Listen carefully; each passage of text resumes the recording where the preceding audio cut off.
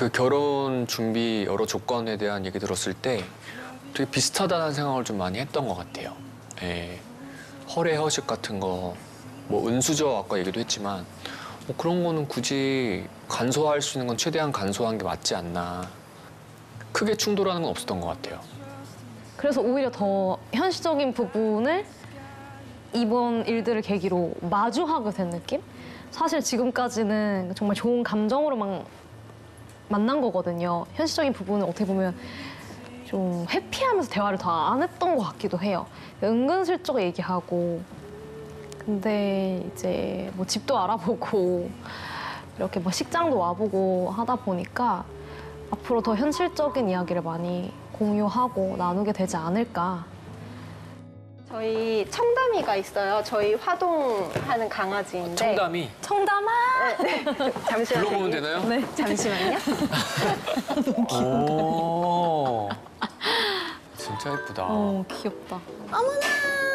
자, 청담아, 일로 와. 청담아! 청담아.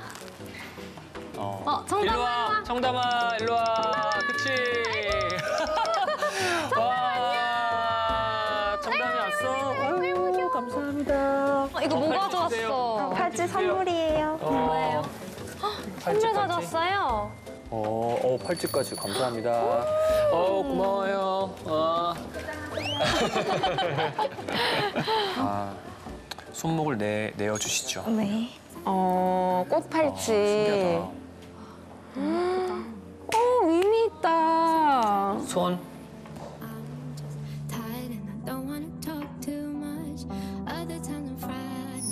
아.